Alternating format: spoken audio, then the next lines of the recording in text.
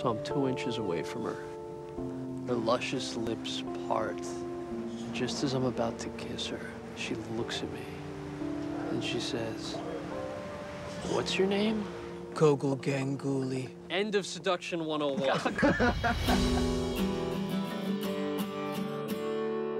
I want you to come home next Saturday. Mom, I can't come home that weekend.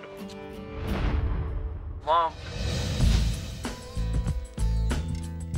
You know, he's willing to go on vacation with someone else's parents. But not to see his own. Besides, what kind of a girl is called Max? Huh? Maybe it's a boy. There's some things you should know. No kissing. No holding hands. I once had a girlfriend who went to India, came back thin as a rail. How old were you when you moved to America? I was actually born in New York. I'm from here.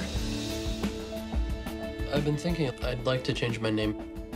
Can you imagine Gogol on a resume or a business card? Do as you wish. Don't your parents want you to marry a nice Indian girl? I don't care what they want. This is what I want. I wanted to tell you something.